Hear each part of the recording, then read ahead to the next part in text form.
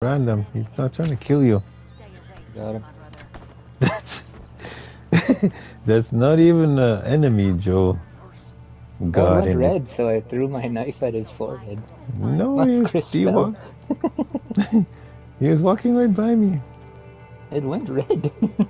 No, he didn't you hear him talking? He said, "I don't like you the way you look" or something. He said oh, he probably went red because I pulled that knife.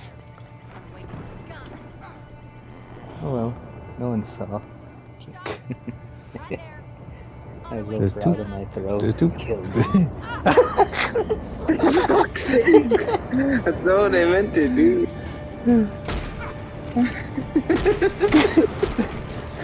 recorded. I recorded that. Chris. Crazy. You wanna fight?